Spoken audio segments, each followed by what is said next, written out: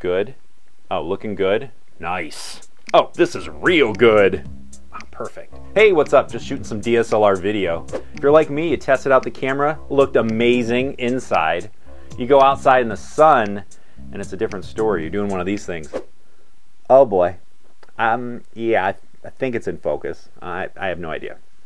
I need an LCD viewfinder. Well, if you've ever priced LCD viewfinders, you saw right away how expensive they are. They range from like $50 all the way up to like 300 or more, and that's just a little too much for my budget. So I came up with a quick fix for an LCD viewfinder for your DSLR camera, and it'll cost you about five bucks.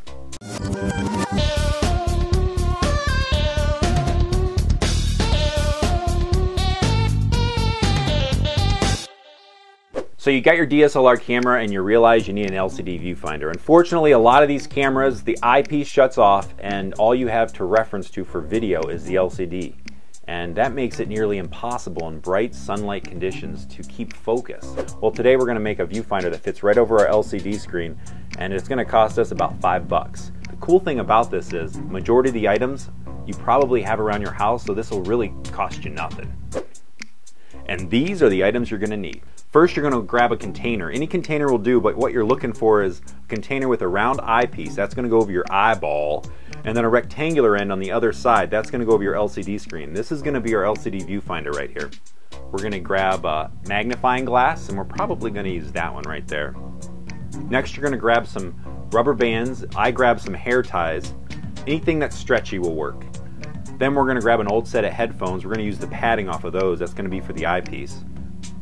We're going to need some hot glue and some spray paint. Now you want to get spray paint for plastic. I made the mistake of using regular spray paint and everything flaked off, so there you go. First, you're to take your container and peel the sticker off. Now, I'll be honest, this is probably the hardest part of this entire project. The sticker is so hard to get off. I was having such a hard time with it. All I can say is take your time. Hopefully, you'll have better luck with yours but just take your time and peel it off both sides. All right, once you get that sticker off, we're gonna cut the bottom off of our container. Leave as much plastic intact as possible. Cut the very bottom off. All right, once the bottom's all cut, what we're gonna do is take our magnifying glass. Now in our case, we have a little plastic nub that we need to cut off, so we're gonna cut that, sand it down smooth and get it all ready. Now keep in mind, that's your lens, so be careful not to scratch it. All right, once that's ready, what we're going to do is temporarily put it inside of our container. So we're going to tape that in place. Once that's set, we're going to hold the container up to our camera and check the focal length. Now, chances are it's going to be way out of focus, but we just want to make sure. So we hold it up to the camera, and if it's out of focus, we're going to trim a little bit off the bottom of the container. And what we're going to do is gradually work our way down and get the container to the exact focal length that we want. The cool thing about this is we're customizing this viewfinder to our eye. So this is a custom viewfinder. You might want to put a reference mark around your container with a black marker or some tape. This will help you keep a straight line when you're trimming your container. After your container is cut to size and the focal length looks good, you can take your container and kind of bend it like this. And that'll help square it off so the rectangular section of the back will fit on the camera perfectly and you can kind of mold it the form that you want. Once your container is set and the focal length looks good, you're to take the lens out and we're to prep the plastic and go and paint it. Now that the container is painted and looking real nice, we're to bring it back and put the magnifying glass lens in with hot glue. Now in my case, the hot glue gun wouldn't fit down inside the container, so I had a hard time with this. Uh, I figured out the best way to do it was just to put hot glue around the edge of the lens and place it in with my hand and set it.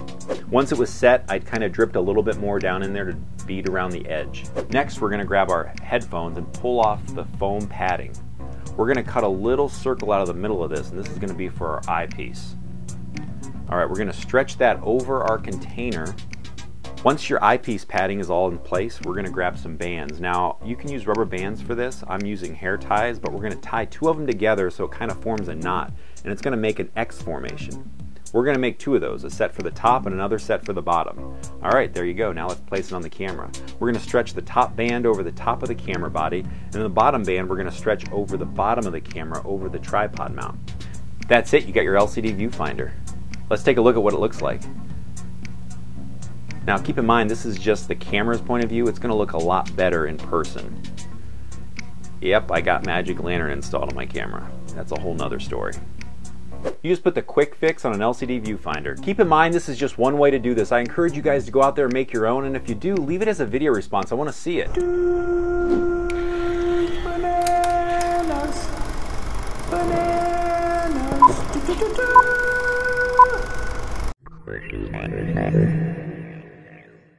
Alright, movie ideas. What do I got here? Movie I stupid pen. Get out of here, crap pen. Jesus. I guess I can call Eric and see if he has any.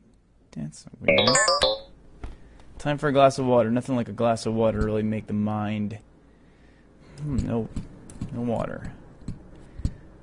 Guess I'm not having water. Weird. Huh, what does that sound? Ah, not again. Stupid alien space war. Do you want your film featured on Quick Fix? Leave a 30 second mini movie as a video response and we might use it in a future episode. If you get a chance, leave a comment below and let me know what you think and what you might want to see on future episodes of Quick Fix. Thanks again for watching. Quick Fix out. LCD. Oh yeah, looking good. That's so much better. You're totally in focus.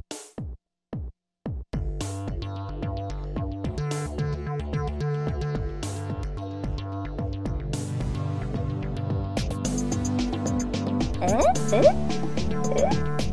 there you go. And here's the differences. This is one I paid $150 for, and you can see, I mean, obviously it's a little bit nicer, but this one's a lot heavier. And it mounts the back of the camera with a little bracket and a magnet.